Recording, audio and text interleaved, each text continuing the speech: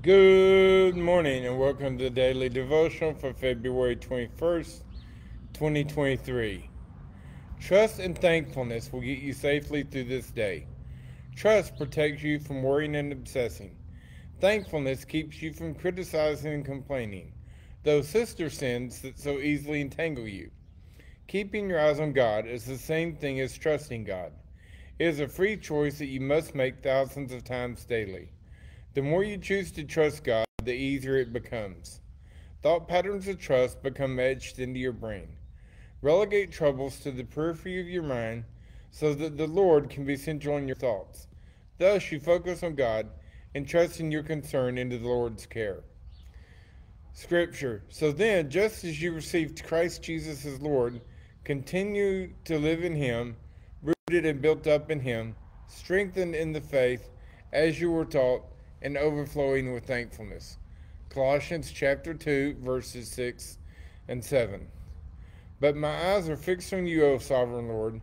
In you I take refuge. Do not give me over to death. Psalm 1, Psalm 141, verse 8. Cast all your anxiety on him because he cares for you. 1 Peter chapter 5, verse 7.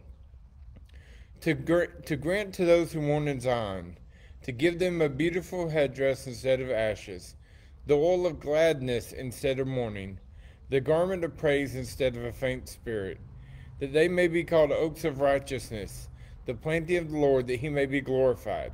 Isaiah 61, verse 3. Prayer Lord, you know just what I need at just the right time. Thank you for reminding me of the spirit of, he- of heaviness. Put on the garment of praise. When I focus on thanking you, on praising you, you change my perspective and outlook entirely. Thank you for never giving up on me, Lord. Help me to do the same for your children. In Jesus' name, amen. I hope everyone is having and continues to have a happy, healthy, and blessed day. God bless, keep the faith, and we'll talk to you tomorrow. Bye for now, folks.